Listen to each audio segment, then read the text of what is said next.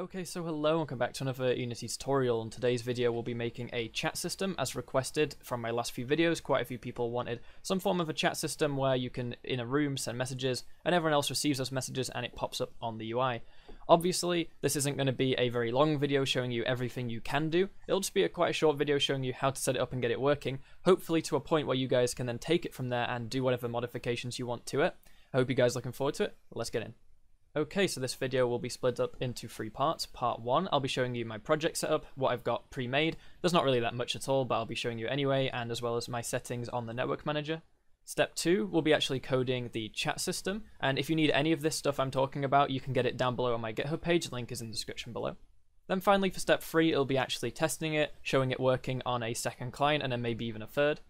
So yeah, that'll be it for the video. I hope you guys enjoy. Let's get started. So step one, the setup. I've duplicated the folder from last time, ownership, so now we have a chat folder, and I've changed the scene to be called scene chat. And then in build settings, I've added it as the build scene instead of the other one, so that when we build, we can then go to the scene. Then in scripts, just make an empty script called chat behavior, and we'll code it in a minute. Then in prefabs, I've got a player prefab, but it's different to last time. I've removed the uh, script that moves when I press spacebar, and instead I've added a chat behavior, which is the script I just told you about, but don't worry about these fields, we're going to write it in the video. Uh, just stick it on here anyway as an empty script. Then beneath this, we've got the chat UI as an empty game object to hold the UI. Then we have the actual canvas, which I've changed to scale with screen size, and then match my resolution with height. Then I've got two elements, text, and this is effectively where the chat is going to be.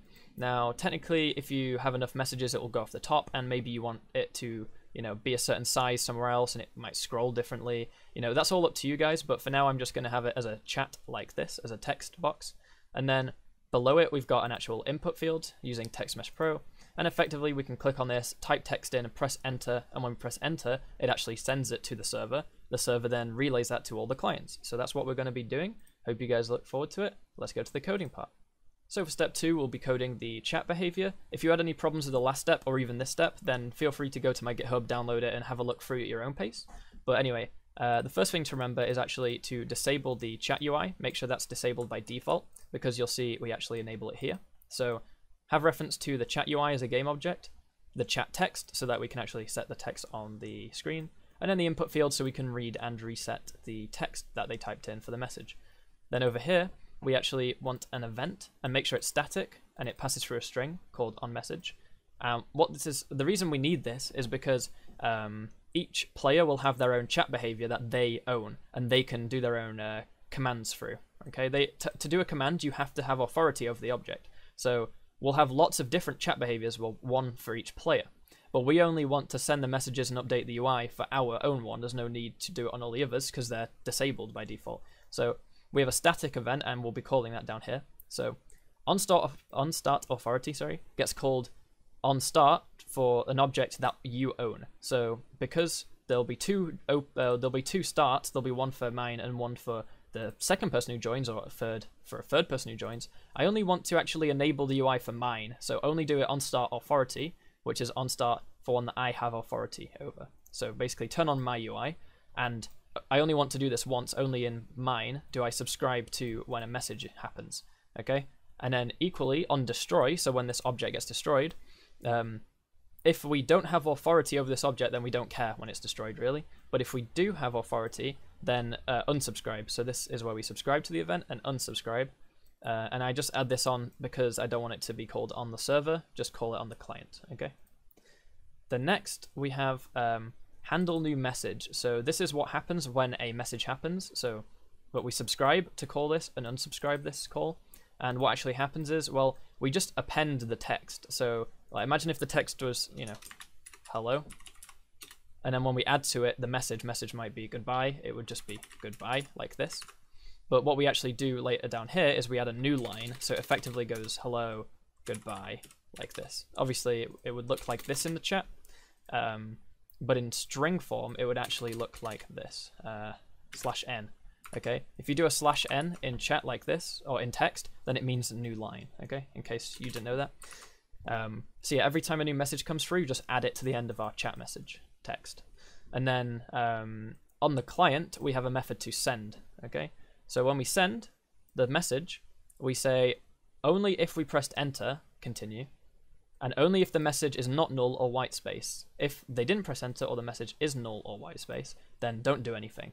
So the way that actually gets called, once you've written this method, if you just get down to this point where you've got these lines, or even just the method in general with the uh, send and passing in a string, you can go ahead to your player now and go down to your input chat or your input field, okay? And there's an event on edit string. Now that gets called in two different uh, circumstances. It gets called when you press enter, so if you type something and press enter, it gets called. But also if you just deselect the string. I think uh, deselect and on end edit gets called.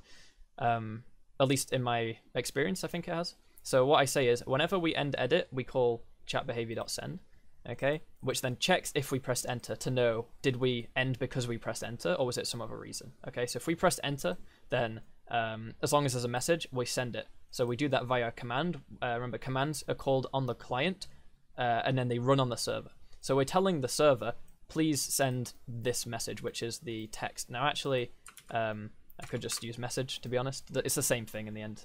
Okay? And then we actually clear the text input field so that obviously when you send a message, it then clears it for the next message. Now, this actual command, what happens? Well, we take in a message, and we format it, right? The server takes what you typed and formats it. This is where you'd validate, right? If you wanted to validate, to for example, you might want to um, not send it to everyone if it has profanity or whatever you want, right? Um, or maybe if they've sent too many messages too quickly, you don't want to send it, okay?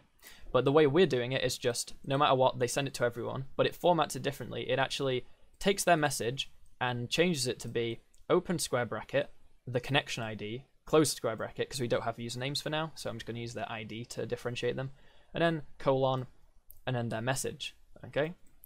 Then client RPC, which is what this calls, okay? This gets called on all clients. All clients are told, um, here's the message, and this message is actually this string, so it's the actual fully formatted thing. And what it does is, it invokes the event on message, which we use up here, and it tells everyone, hey, uh, add a new line and then the message. Then obviously what it actually does is it just adds that on. And now, if we actually go back over and make sure you've got everything plugged in, so your chat UI is plugged in right there, your chat text, which is here, and the input field, which is here. Once those are all plugged in, and you make sure you've got your event done on the chat input, you can then actually go back to Unity, build and run, and then go test it out. So in Unity, I'll become a LAN host, so then on the built version, I'll become a LAN client. We're both in the same lobby. Ignore the spheres, you could get rid of those if you wanted to. I'm going to say hi. Okay, and I'm user 1. I've got ID 1 because this is 0, this is 1. And it says hi, and I come back over here and I say you know, goodbye. I come back over here, and both clients actually receive all the messages. And because the server checked who it is sending the message, it then told everyone, okay, user 1 said this, but user 0 said this, right? And I can send like quite a lot of messages there and then everyone receives them. It's synced pretty much instantly. It's a really simple chat, but it works, and you guys can take it from there. Obviously, one difference is if I stop and reconnect, I don't get the chat history, though it still works to continue. Um, it actually does say I'm someone else because my connection ID changes, but that doesn't matter because um, ideally instead of an ID, you'd be using a name or something, and your name wouldn't change. Uh, but yeah, it works, and you guys can obviously, as I said, expand it further. You could add the make sure the server for example stores the message history. So when someone new joins you could send them the message history. That's up to you. Um, another thing another thing you could do is make it so there's some commands in there. Maybe um, it adds a profanity filter you know you, you out words that are swearing. But usually in games where that happens the server doesn't do that. It's actually the client there's usually a setting and the setting will filter it before it actually sends it back to your chat but yeah, that's it for this video. So I hope you guys enjoyed. If you did, let me know down below. Leave a like and subscribe. It would mean a lot. I'll see you guys next time. Thanks for watching, and goodbye. But of course, before I go, I've got to thank my patrons. Special thanks to Liz Kimber, Josh Folsom, Beardodeye, Dustin Miller, Francisco Diaz, Rek, Eurus Letter, Hades Orko, Rene, Budere, and Marie Baldwin. If anyone else is able to help support the channel monetarily, link to my Patreon is down below. If not, there are also links down below to other social media, such as Twitch, Twitter, and Discord, as well as our website. If you could help us out by following on any of those, checking any of those out, that'd be greatly appreciated. I'll see you guys next time. Thanks for watching, and goodbye.